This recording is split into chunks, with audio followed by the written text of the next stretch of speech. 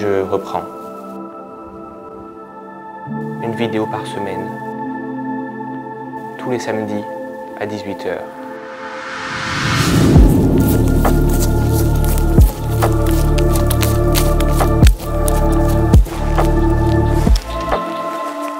Vais-je y arriver? J'ai été dépassé. Est-ce que ça ne va pas recommencer?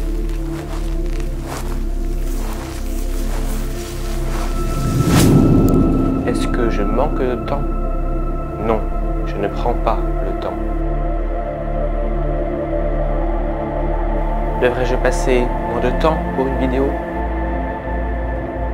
Devrais-je être moins perfectionniste?